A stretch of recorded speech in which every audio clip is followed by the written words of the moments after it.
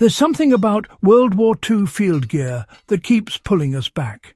Not because it was glamorous or comfortable, but because so much of it quietly outperformed the modern replacements we depend on today. And one piece of equipment that deserves far more attention is the standard World War II ground sheet. Soldiers treated it as a poncho, shelter half, stretcher support, mud barrier, overnight cover, windbreak, and, in emergencies, even as a water sluice. But what made it so impressive was not its versatility. It was its near indestructibility. Veterans from multiple armies wrote about dragging these sheets across broken concrete, hauling gear on them, even using them to slide wounded men across sharp rubble, and yet the cloth refused to tear. Modern tarps last a season or two before shredding. These sheets often survived an entire campaign. For the first minute or so, let's get into why this matters for anyone who studies history or practices fieldcraft.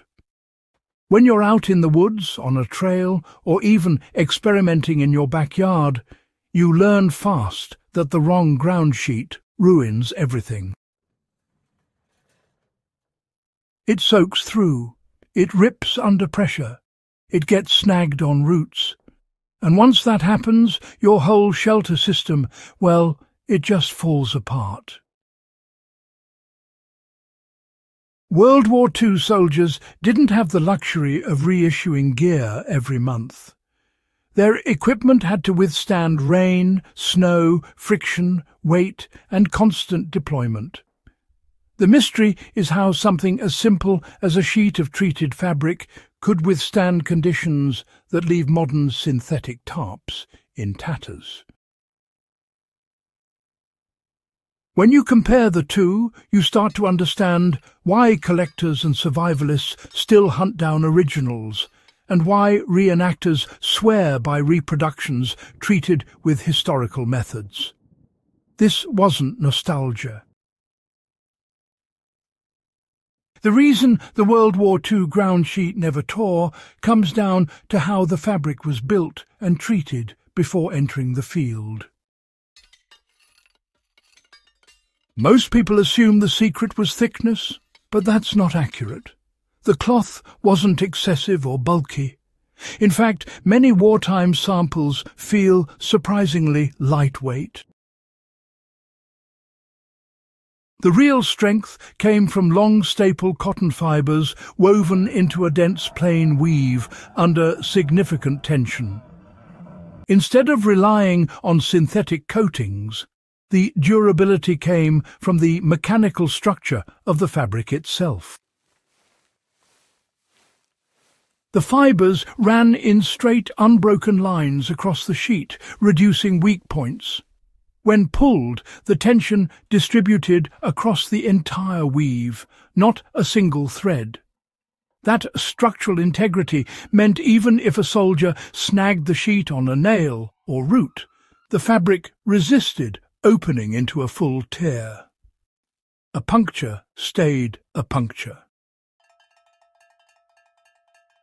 On top of this, the fabric was treated with a compound that stiffened the fibres just enough to prevent fraying, but not enough to make the sheet brittle.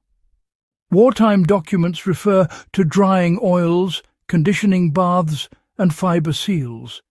These weren't heavy wax coatings that crack. They were penetrating treatments that bound to the cotton itself. When done correctly, the result was a sheet that acted almost like flexible armour against abrasion. In training manuals, soldiers were instructed to drag equipment bundles using the sheet itself, meaning the military expected the ground sheet to serve as a hauling surface without failing.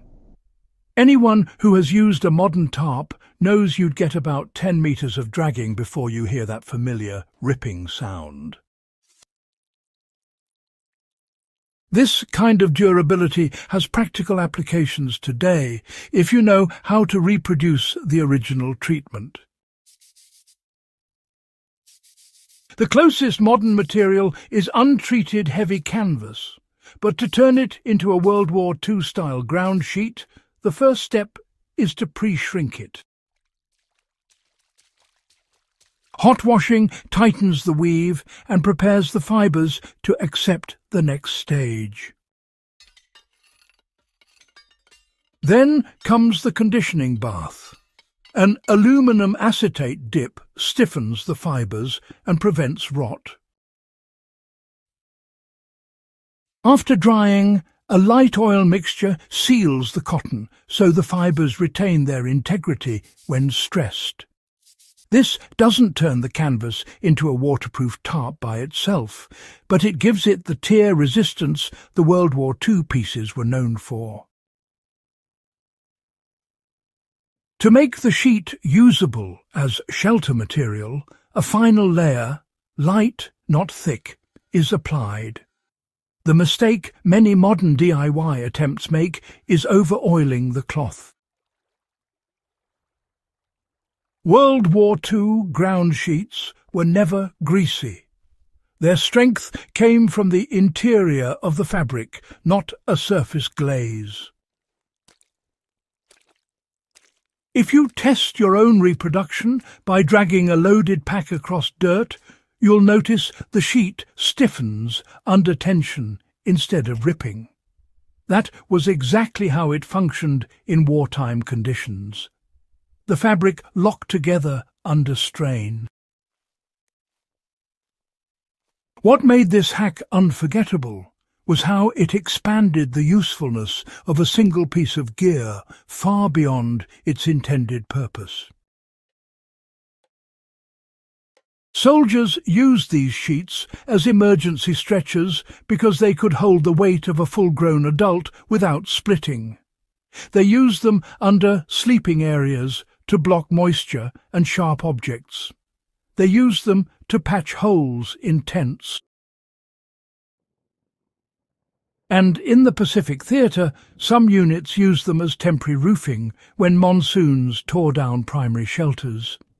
The sheets stretched but never failed catastrophically.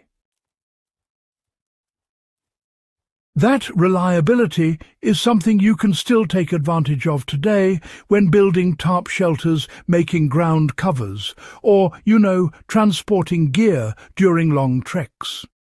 Even if you're not reenacting, applying the old method gives you a durable tool that, honestly, performs better than most modern lightweight options.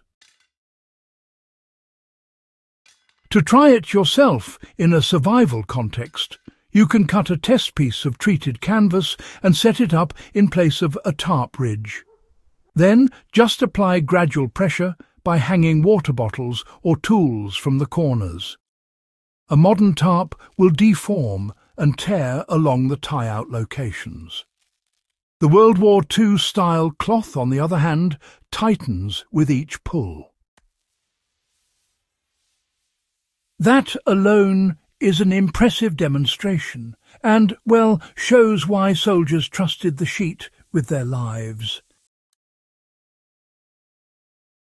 You know, the forgotten World War II ground sheet hack really deserves to return to modern fieldcraft, because, well, strength and reliability never go out of style.